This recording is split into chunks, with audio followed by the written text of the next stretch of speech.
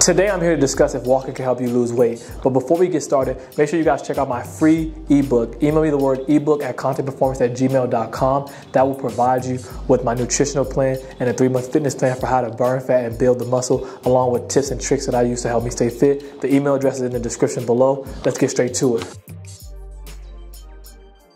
Walking 10,000 steps a day can help you lose one to two pounds a week. So listen, if you're new to fitness, if you're pregnant or you just gave birth, anything of that nature, you know, walking can help you lose weight. It can help keep you toned, and there's a lot of power and strength in just walking. I actually discovered walking after I had my first injury. I actually, what ended my career was I had to get three surgeries. I played football at Howard University in Washington, D.C. So when I had these three surgeries, these surgeries were going on for about a year or two and I wasn't really able to work out like that. And I was starting to notice like a lot of changes in my body, and it was just a really tough time for me. So, you know, something I was able to do was walk. And you know, my, I have the type of body where, for me, when I'm not when I'm not working out, I tend to actually lose weight versus gain weight. But I'll start to, you know, get like skinny fat.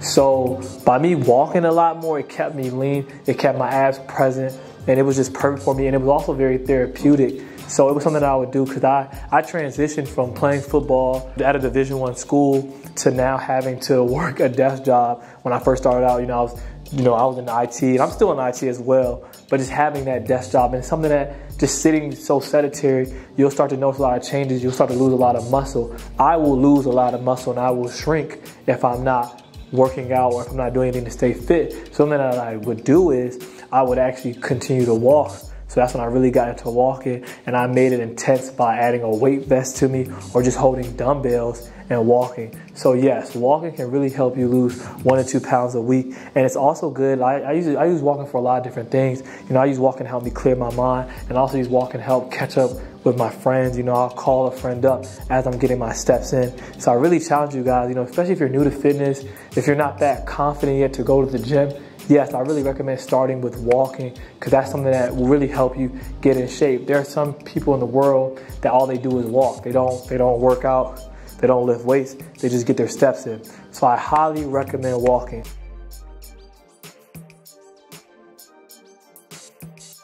Tip number two, tip number two, make sure you pace yourself when you're walking. So listen, when I first started walking, I didn't start off doing 10,000, 12,000 steps a day. For the people that do 20,000 steps a day, shout out to you guys because I'm not there yet. But um, I would definitely recommend, say, just start off with doing 5,000 steps a day. You know, I had a buddy of mine, a close friend of mine, you know, he was trying to get into fitness. He had put on a lot of weight. And I just said, hey, you know what, just start walking. So him and his partner actually started just walking around their condo building. He started noticing the changes.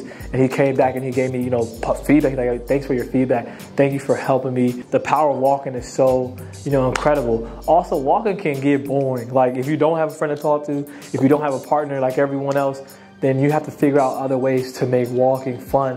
Something that I did was I invested in a walking treadmill. So, you know, I like to watch TV when I can. I, unfortunately, I don't have time to watch TV. I'm not heavy on social media. I do post a lot of content on social media, but I don't always get a chance to like watch and consume a bunch of social media and TV. So, something I did was, you know, when I bought my walking treadmill, I have a walking treadmill that's underneath my work desk. And, you know, I use that as I'm at work.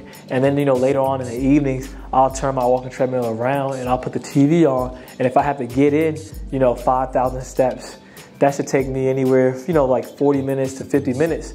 And that's a chance for me to, you know, watch an episode and that'll keep me entertained. Because if I'm just walking, after a while I'm gonna get bored and I'm gonna stop. That's not realistic. In order for me, you have to have to be entertaining. So for it to be entertaining, something has to keep me entertained. So by having the treadmill, you know, in front of the TV or underneath my computer desk, that helps me keep that helps keep me interested. I'll put the link to the treadmill that I use in the description below, so you guys can tap in. You could you guys can actually get the exact same treadmill that I use. So that's tip number two.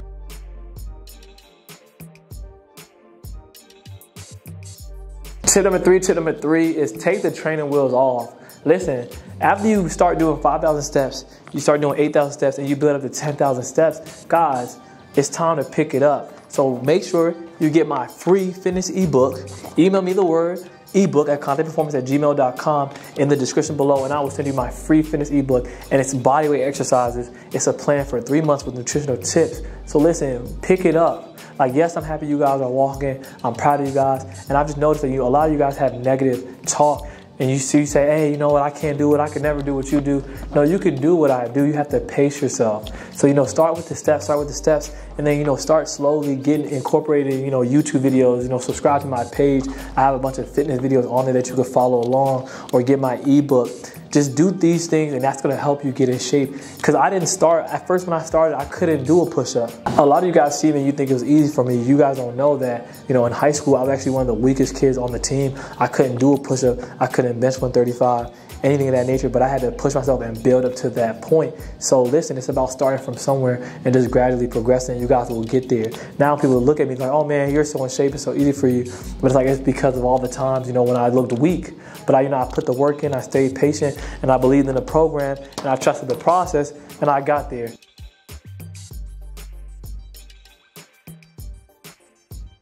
Number four, tip number four is be patient with yourself, guys. Listen, this is something I have to tell myself all the time. You know, I'm like, man, I'm walking 10,000 steps, I'm walking 12,000 steps, I'm in the gym, I'm doing that, I'm eating healthy, and I'm just, I'm not where I want to be, I'm not getting the results I want to get. Listen, that's the beautiful thing about the body. It takes time. It's like wine, you know what I'm saying? It gets better with time. So listen, you guys, keep putting the work in and you'll get there. Even me, myself, I have my doubts. I'm like, man, like, I'm, I'm not where I want to be. Like, I want to be here. And, you know, you know, guys, make sure you're not looking to your left or to your right. Make sure you focus on yourself keep putting the work in, keep, you know, whatever that may be. Even if you say, hey, you know what, I'm gonna do 5,000 steps this week, next week I'm gonna do 5,500 steps. You know, whatever your version is of getting better, you know, but just keep pushing, keep pushing. Don't get satisfied, you know, just keep pushing. I understand, you know, fitness can be very scary.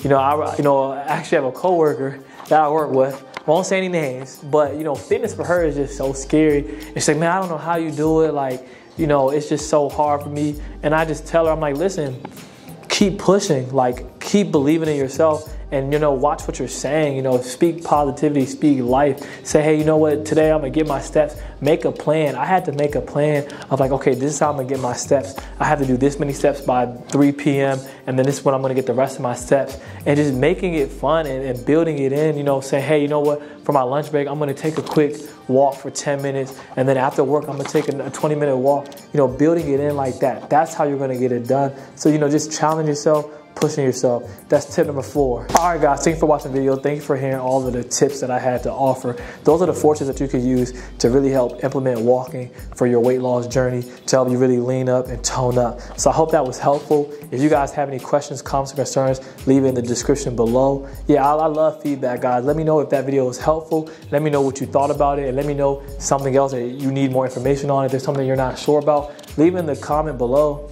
and I'll get to you and I'll make a video on it. You know, I keep these videos coming out two to three times each and every week. So listen guys, subscribe to the page. Make sure you hit the notification button so you can also see when the videos are dropping. And like I always say, Conteh Performance, we out.